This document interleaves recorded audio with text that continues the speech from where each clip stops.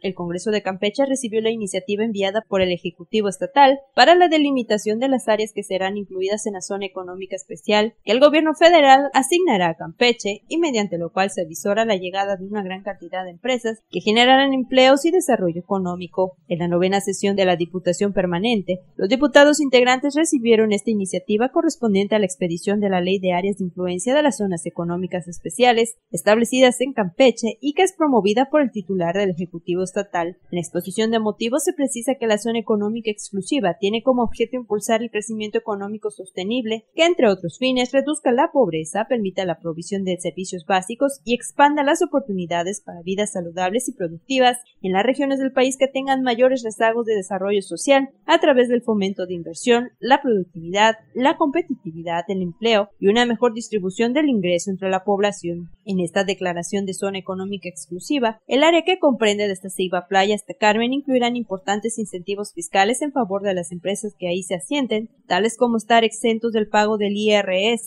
durante 10 años, el no pago de cuotas obrero patronales, la eliminación de impuestos estatales y municipales, entre otros que serán absorbidos por el gobierno federal, y potenciará el arribo de capitales internacionales, nacionales e incluso locales. Con imágenes de información de Martina Costa Pacheco, Notivisión.